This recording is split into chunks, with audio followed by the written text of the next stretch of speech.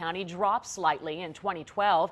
In 2011, nine people were killed, and last year, only four people died in drunk driving related crashes.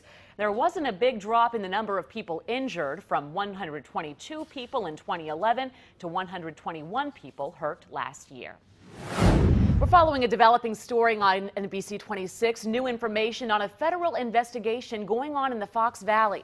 Tuesday, neighbors in the town of Harrison were shocked to see local and federal agents searching this home. We learned tonight more than one search warrant was executed. NBC 26's Jonathan Gregg is live in the newsroom with a story only on NBC 26.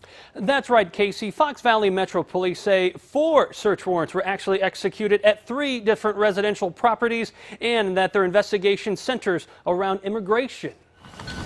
Residents on Red Clover Trail were caught off guard Tuesday morning to see federal agents moving in and out of this home. I noticed them going through their car and putting everything out on the ground and putting it in bags. Tax records show this home is owned by a Keith Meyer. Now Fox Valley Metro Police say it wasn't the only home searched.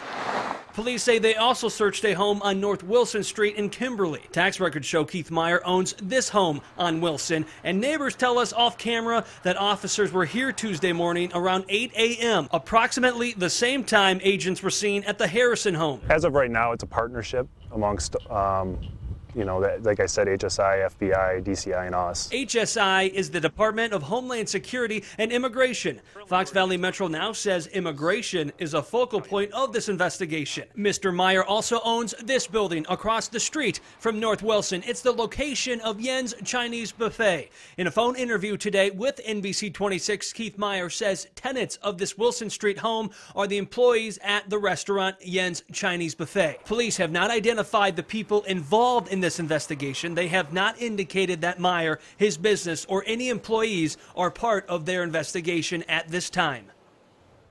Police also say they collected a lot of evidence after they executed their search warrants and that they're currently sorting through all of it. At this time, no arrests or citations have been issued. We'll keep following this story and bringing more information as it becomes available. Reporting live in the Green Bay newsroom, Jonathan Gregg, NBC 26.